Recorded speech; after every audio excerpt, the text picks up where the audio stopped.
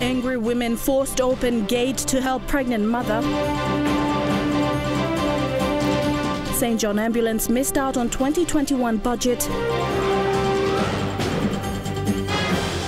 And Dirio Power set to light up Port Moresby City. This is National MTV News with Helen Sayer.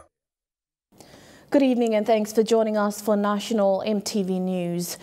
A group of Morobe women forcefully opened an access gate this morning to allow a medevac by Manolos Aviation to proceed as planned. Security guards of a provincial government business arm, Morobe Sustainable Investment, welded the gates earlier this week, preventing access to refuel and ambulances to medevac patients to the health facilities. While the chopper was transporting the patient, a mother with her dead baby still in her belly, the women forcefully broke open the welded gate. The chain that was welded to this gate by the security guards of a provincial government business um, arm, Morobe Sustainable Investment on Monday, was removed at 10 a.m. today in Lae by a group of women from Morobe. We are talking on behalf of our sister district. Our mothers are dying in the rural district. That's why we are here to open that gate. Now, that one the casualty, one the one the mama and Karen beginning in beginning and die because the fuel Choban na bloksi fuel here. He has to fly back to Nadzab to refuel na golo. Samu, okay. That's the reason they're coming in from. This is genuine. No, stop questioning us. That's it. Mama, who are dying out there in the rural district. It's the only access used during a medevac by Manolos Aviation, a helicopter company based in Lae. The gate was forcefully opened by the women to allow a medevac by Manolos from Tep Tep in Kabwum district to Lae. How, this, how do these people in the higher authority feel about the women and children, men and everyone in the remotest area that don't have health access? Na emi bad, that is very bad. Time one plaro and stop or sem larim please, larim gate must up. On Monday this week, Elizabeth Bradshaw, the CEO of Morobe Sustainable Investment Limited, a business arm of Morobe provincial government, ordered the security guards to weld shut this access gate. In a phone interview with Bradshaw this afternoon, she claimed that Manolos Aviation is illegally occupying the area. She said the gate was welded shut following a court order last month. Almost 20 minutes later, the helicopter landed with the patient, a pregnant woman with her dead baby still in her belly. Isla all kita line inside the remote na rural area, all tu making kapman do disla time. Ta yumi hari lo town inside lo town kakani me car na shipiri tim yumi inside lo remote area na rural area you know kat car na sipi can go. So the only way we are back is service and through lo manalos. The women said there shouldn't be any obstructions in saving lives of the people of Morobe, especially women and children from Morobe's remote areas. Julie Badui, Owa, National MTV News, Lae. Port Moresby now has sufficient power supply, enough to supply the whole city uninterrupted following the launching of the Dirio gas and power plant yesterday. The 350 million kina investment by LNG landowners through MRDC was opened by the Prime Minister last night. The Dirio power will supply 45 megawatts to the Port Moresby grid, adding to PNG Power's 80 megawatts and New Power's 58 megawatts. The journey to have a gas power plant outside Port Moresby started in 2018 when government delegates and landowners knocked on the doors of solar turbines in the US to help make their dream come true. Two years later, a multi-million kina infrastructure now stands at Papalelea, owned by the landowners of PNG LNG, all through their trustee company. Mineral Resource Development Company. And the investment is about 350 million kina, uh, including all the COVID costs. It's not easy to operate in the last one year. I'm sure you know with the price of oil down and all those who are in the construction business, it's very difficult to operate. But we are one of the only few businesses that has been operating, you know, in these tough, difficult times. Called the Dirio Gas and Power, this project is also good news for Port Moresby power consumers. This power plant will add 45 megawatts of clean energy to the Port Moresby grid. With new power already providing clean power to the same grid, PNG Power's dependency on diesel turbines will be minimized. Port Moresby now has enough power supply to power the old city. However, PNG Power is now faced with the challenge of upgrading its aging transmission infrastructure in order to transmit power. Dirio Power signed a power purchase agreement with PNG Power in September 2019, agreeing to supply electricity at a price lower than other third party suppliers. Dirio aims to deliver cheaper power, making electricity more affordable. The low price could potentially lead to a reduction in tariff for electricity users in the capital city.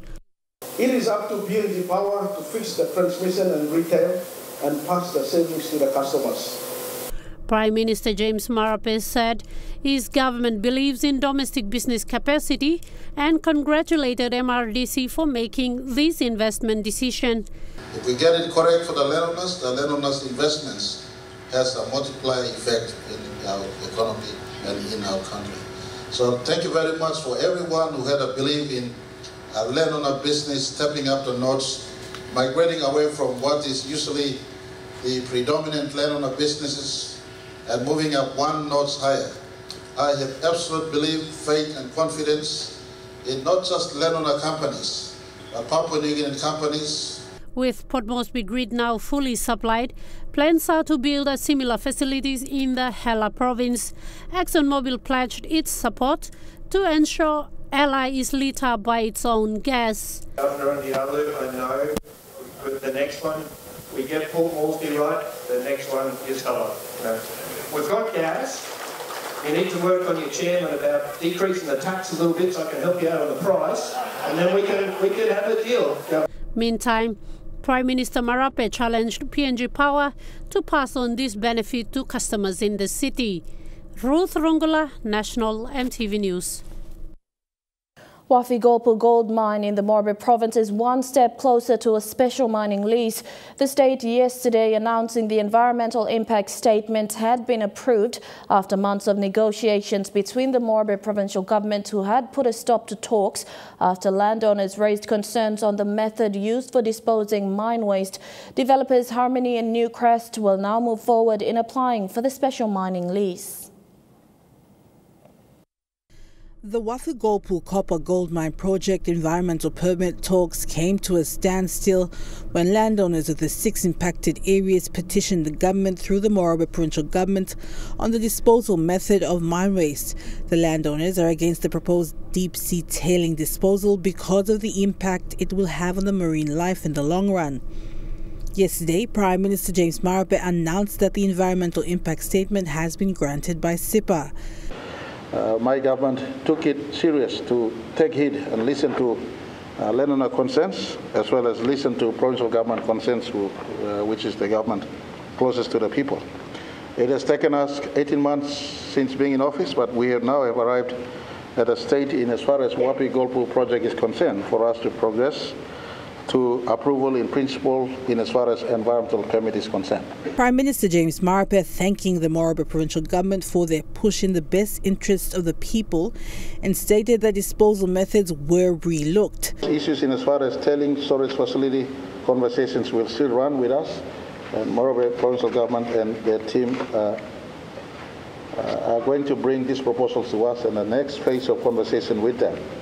This now gives us opportune time for us to sit with every party on the table and for us to open this dialogue again, and we will move into the next phase, as I did indicate earlier.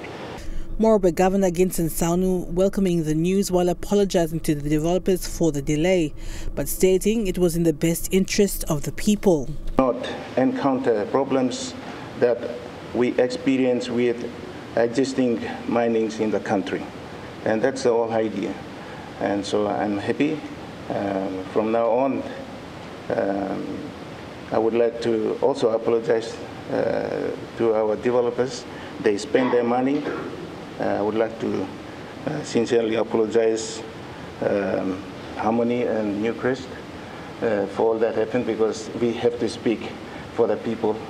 And it's good exercise to hear from the leaders so that instead of people come straight to you, we, we, we made it possible for you to stand at the back and let the, let the leaders uh, you know, represent the people and um, you know, you listen to us and you have been patient. So I would like to thank uh, Harmony and Newcrest for your patience. Meanwhile, Environment Minister Wera Mori said with his experience as a geologist, he looked forward to the prospect that Wafi-Golpu mine would bring to the country. With the support of the national government, uh, the Morobe provincial government, the Morobe provincial government's 10% equity, which will also comprise both gold and copper, may be smelted and refined. We may start off by basically doing a small operations and then eventually as the as the business increases, that will be the opportunity that we will be basically based on for future downstream processing in the country. Adelaide Xerox Kari National, MTV News. A chartered flight flew into Vanimo today with members of the opposition camp. On board the member for Ialibu Pangia, Peter O'Neill, together with member for Goodenough Tug Douglas Tomuriesa and Milne Bay Governor Luke Crittin. They were received by a number of other leaders who had defected to the opposition since the last parliament sitting presided by Deputy Speaker Koni Iguan. The atmosphere in Vanimo is calm and expectant. This can be seen by the numbers on the ground. During a head count and photo shoot, opposition leader Belden Namah spoke confidently on their move to form a new government. Other members shared similar sentiments, including member for Bulolo and defected Deputy Prime Minister Sam Basil.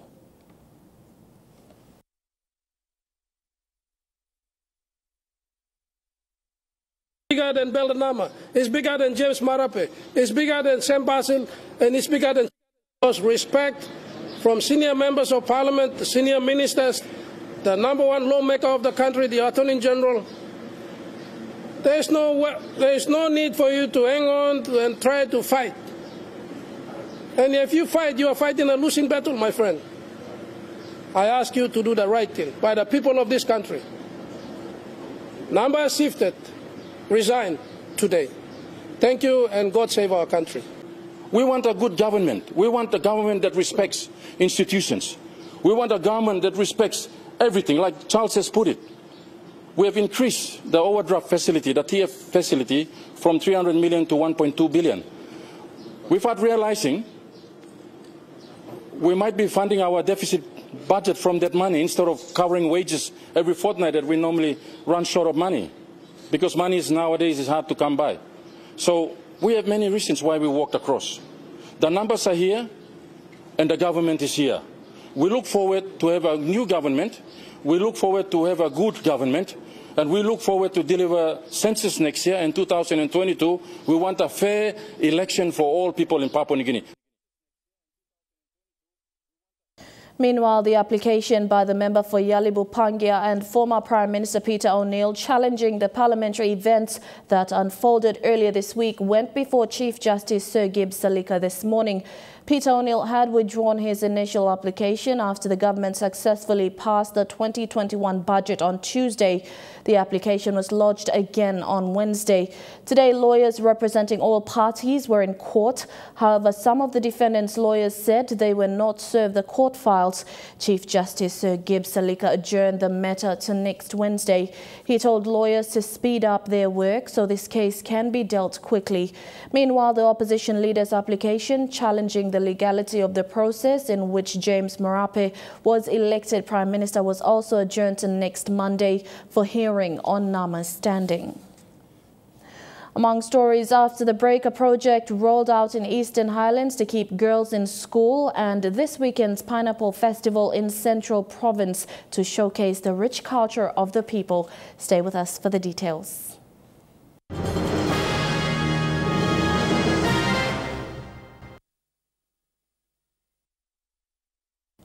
Welcome back to the news.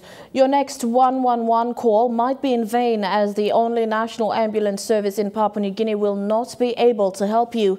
St. John Ambulance PNG has completely missed out on the 2021 budget. They may have to cut back on expenses and that could mean grounding some ambulances, leaving the public without medical help. St. John Ambulance PNG has completely missed out from the 2021 budget as the only national ambulance service that offers free emergency pre-hospital care that is a concern.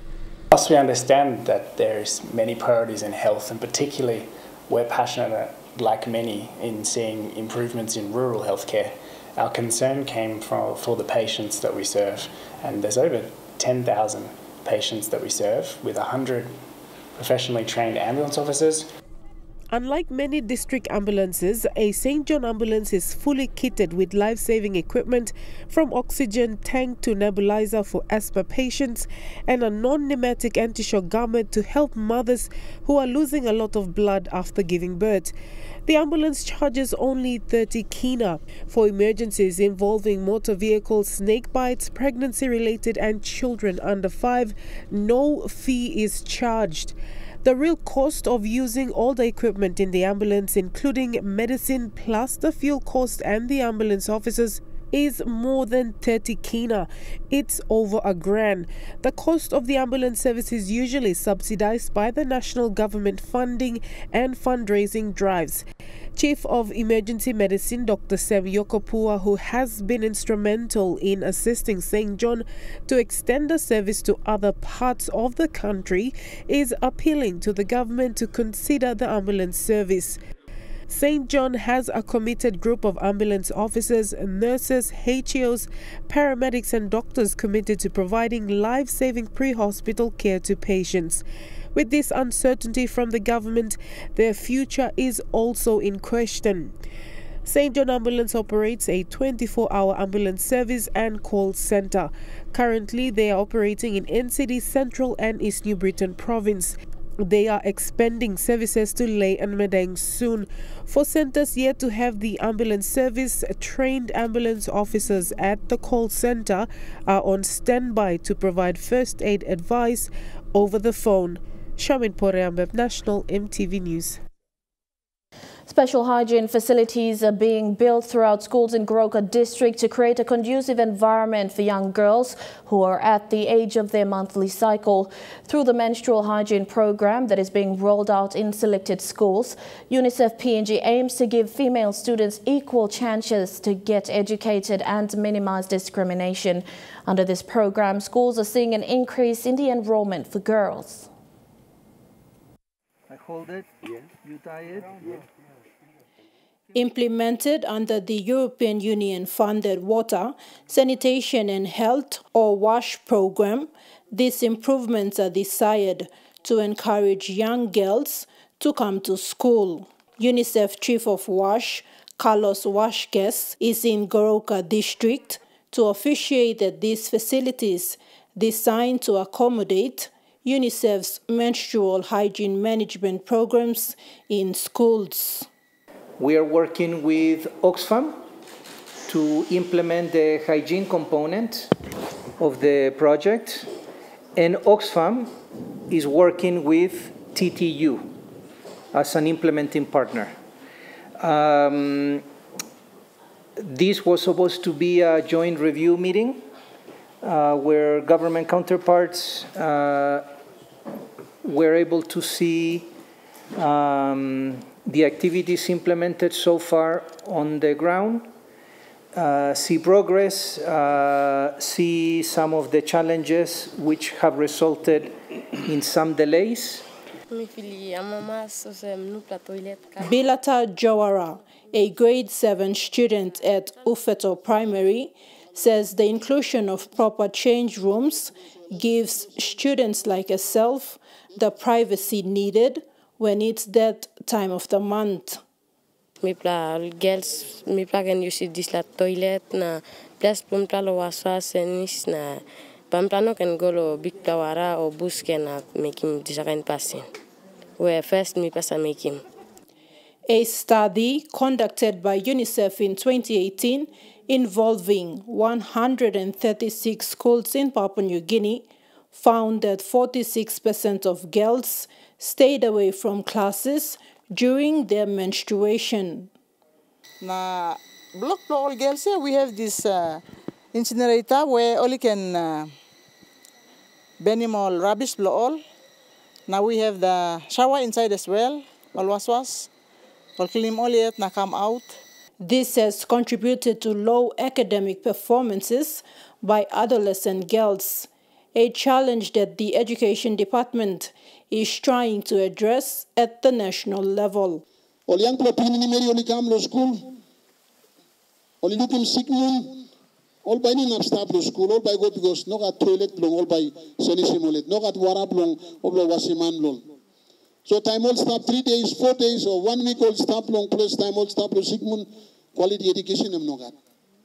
In primary schools where students have limited knowledge on menstrual hygiene, it is very difficult for young girls who are at the age of menstruating. Though puberty is taught to both boys and girls in classes, the actual installation of such facilities will minimize the amount of days young girls stay away from classes due to menstruation. Thekla Gunga, National MTV News, Goroka. Two sisters from Enga province are the darks of grade 10 and 12 at Notre Dame Secondary School in Western Highlands province.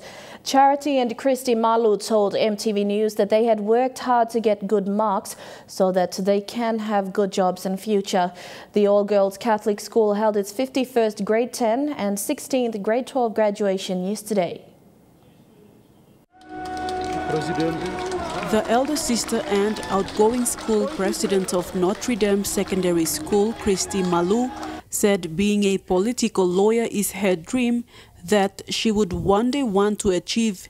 Christy received prizes in legal studies, history, math, and economics, including the Leadership Awards and the Dark Soft Social Science class.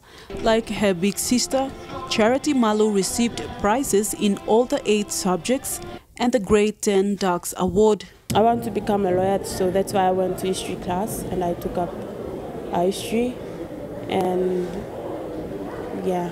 Invited guests spoke highly of women who have excelled in their career paths despite all odds, as well as reminding girls of the increased number of gender-based violence and teenage pregnancies. The graduates were encouraged to pursue education and do not settle for motherhood jobs. Don't be discouraged. This is not the end of the life, end of your life. Don't be discouraged. There are other options available. Look at yourself. What do you have? What resources do you have? What skills do you have? And try to work on it. Archbishop Douglas Young urged the graduates to put God first and education second to prosper in life. Graduates were also encouraged to choose other career paths in the technical colleges, vocational schools or TVETs to learn technical and life skills training to meet the increasing demand. Far more inclusive, to be far more nurturing, to reach out once again more in a more concentrated way to those who are excluded. Notre Dame Secondary is one of the performing schools in the province and the country. They were listed under the top 11 secondary schools in the country last year. Us, day by day, year by year, in a joy and happiness. Graduates, go with the spirit of Notre Dame. Vasinata Yama, National EMTV News, Mount Hagen. Sogeri in the Central Province is set to host the first ever Pineapple Festival. The two-day event beginning tomorrow will showcase the rich culture of the Koiari people and incorporates fun and games hosted mainly at the Yarwari Sporting Field. The excitement already building up to tomorrow's event. Sogeri's very own show for the first time. This event is a Pineapple Festival and it's a two days event on Saturday and Sunday, and each day is given different activities uh, together for the weekend. The event to come together at Yarawari. The, there's a field as you go past uh, Yarawari. Uh, there's a field on your left. Uh, the event is taking place there. From the mountains to the plateaus, the entire Koiari is expected to descend onto one location. The rich culture, food and fruits to take center stage. There is also the added fun and games like the 9 kilometer long Enduro Challenge. And that activity is, uh, it comes under triathlon sports where you swim, cycle, and run. Unfortunately, for the event on Saturday, will not be a swimming, but it's going to be kayaking. So they will do kayak, uh, cycle, and run. Bradley Valenaki, National MTV News. And now looking at the NASFund market report, the Kina closed unchanged at 0.2850 US dollars in the interbank market. At Bank South Pacific, your Kina is buying 0.2775 US dollars, 0.3772 Australian dollars, 0.2256 euro and 28.13 Japanese yen. Looking at commodity prices, at New York close, gold is trading higher. Coffee, cocoa and copper closed higher. Crude oil is trading lower, palm oil closed lower and copper closed higher. And on the stock market, the Dow Jones closed at 44.81 points higher. The ASX 200 is trading at 8.03 points lower and the All Ordinaries is trading at 2.76 points lower. And National MTV News continues with more after these messages. Stay with us.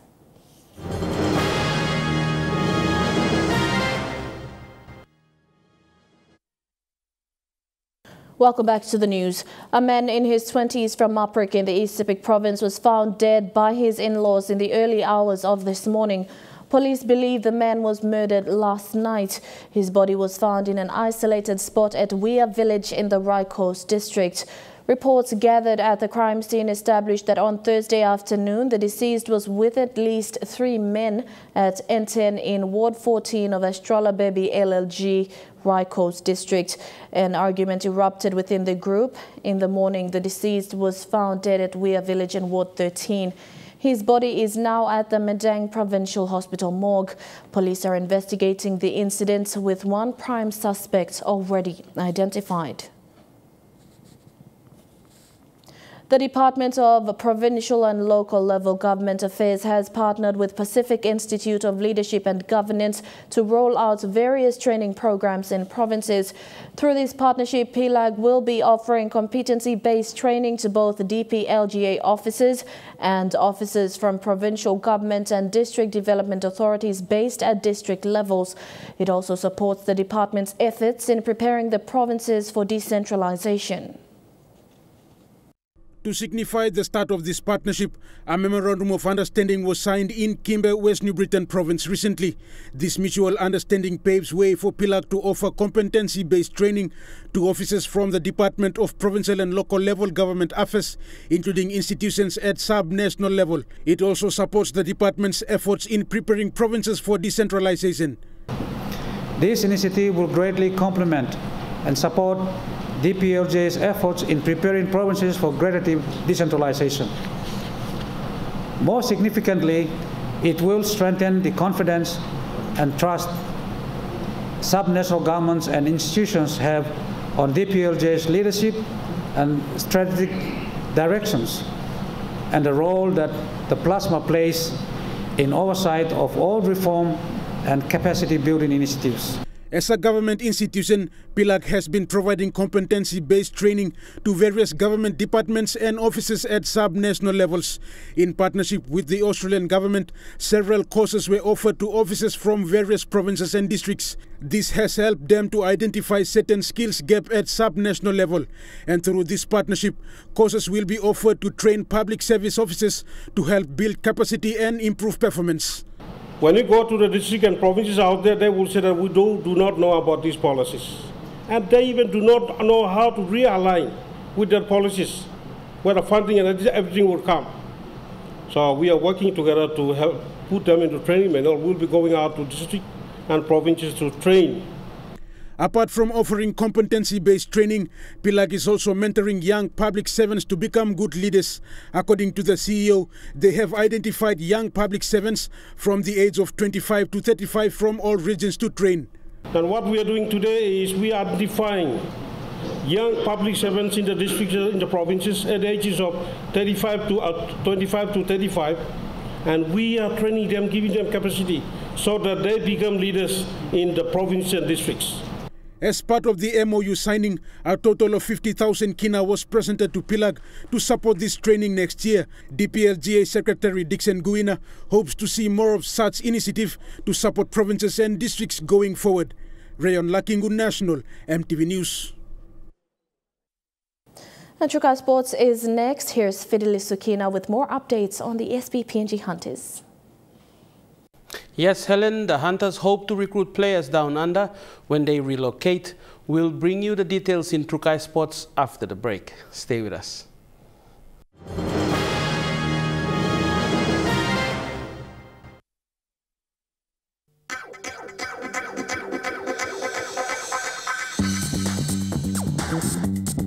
Trukai Sports.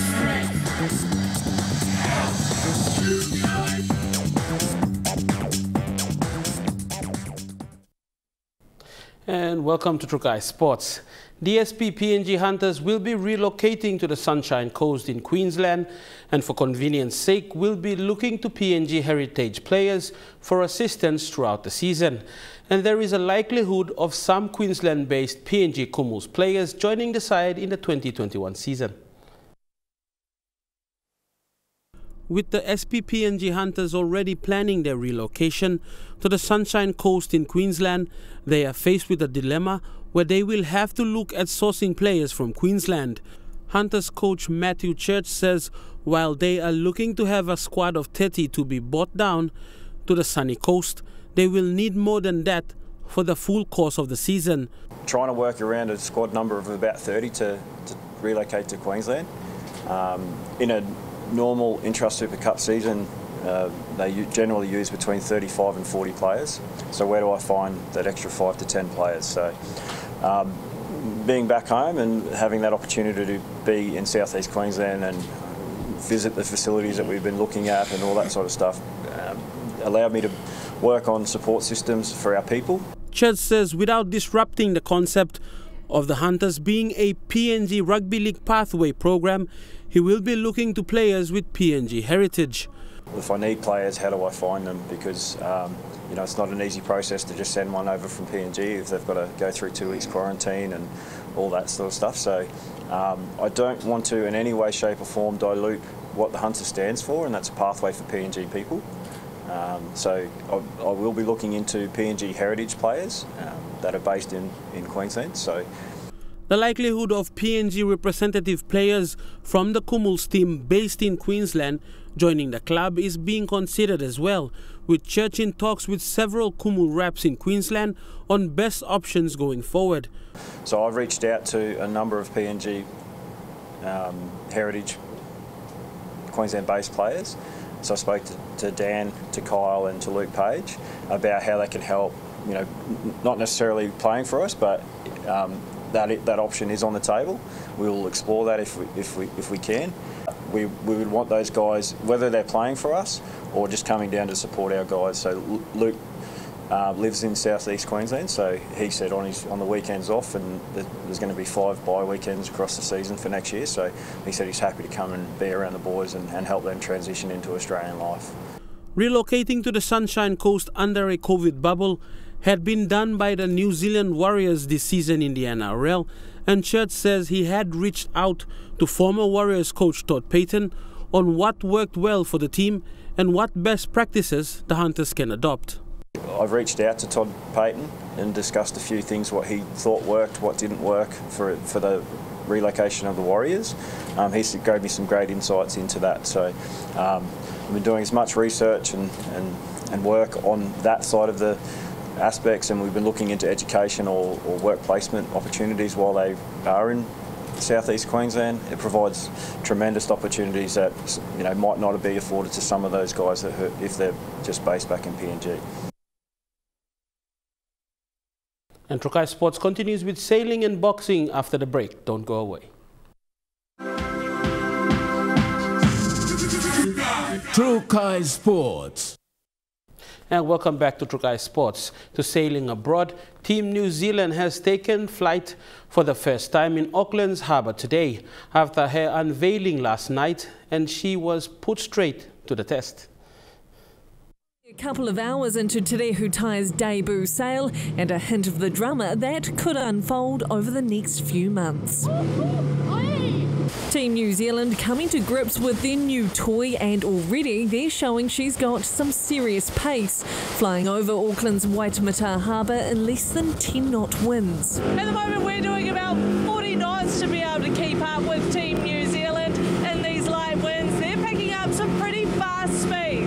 Just how fast Te Rehutai can really go remains a secret, but so far she's getting the thumbs up from all the crew. Probably exceeded our expectations a little bit, you know, to be able to scout and do some some nice manoeuvres and a good bit of breeze, and you know the boat felt really nice. Team New Zealand is the last syndicate to finally unveil their secret weapon, a month behind the other challengers.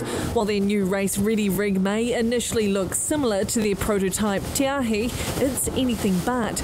Te Rehutai's a serious upgrade. Today's great for the sailing team, obviously great for the whole team to see the boat out there flying, doing its thing after a heck of a lot of work for from so many people to get to this point. It was the star attraction today with rival syndicates trying to get that first glimpse of just how the new Kiwi design operates. Also out for a close inspection, boaties and even party goers. Good to be this close to it. I'm sure we'll be out close to the time when it's when they're racing as well. Sailed past all the other ones on my wind foil in the last three months, so I can't wait to see how our one go. I'm sure it'll be faster. With the Christmas regatta less than a month away, the Cup is now well and truly taking flight. The heavyweight boxing bout between Joseph Parker and Junior Fa has suddenly been postponed. Fa has been struggling to perform during training for weeks before his blood test revealed he needed urgent surgery. Years ago, Junior Fa suffered from a condition that blocked oxygen flowing through his body, causing a huge loss in energy. He had minor surgery and was fine until two weeks ago. We saw some problems last week with his training. Um, there was uh, drop off in performance. His camp says a blood test on Friday discovered an issue, but won't confirm if it's linked to his earlier condition. It will require more surgery and an overnight stay in hospital on Tuesday. Is it the same thing or you found something else? Uh, we found something else, yeah. Okay. Um, it might be related to what it was before. I do know some details, and, and I know that it's going to be fixed once and for all via the surgery, so I'm confident confident. Both camps agreed to postpone the bout until next year, but when exactly depends on Fa's recovery. Medical professionals are saying that this operation is going to fix the problem, and then in one month he'll be ready to go into camp again. What's your gut feeling around when it will happen?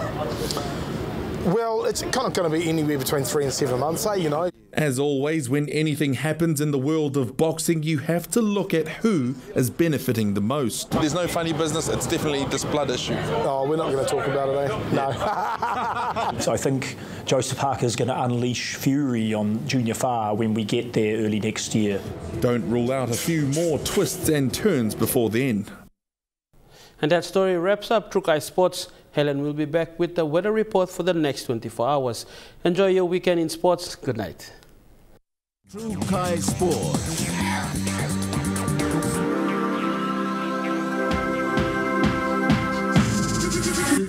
Trukai Sports.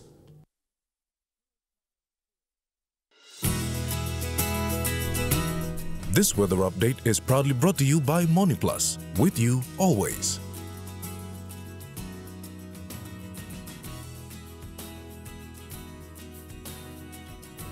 A look at the weather forecast for tonight and tomorrow in the southern region. Cloudy morning clearing to a fine day with evening thunderstorms and showers likely in Port Moresby.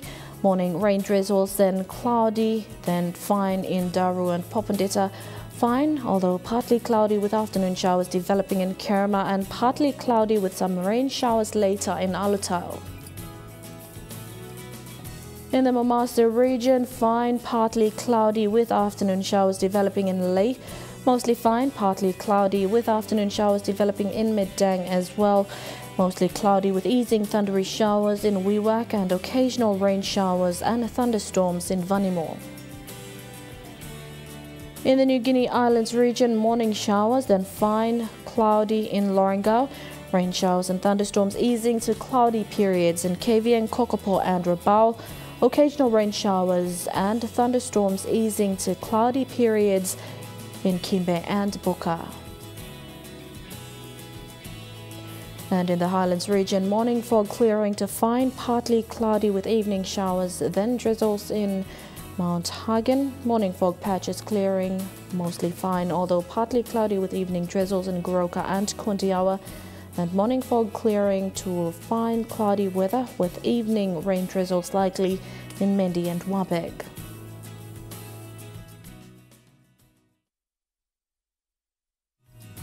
The weather update was proudly brought to you by MoniPlus, with you always.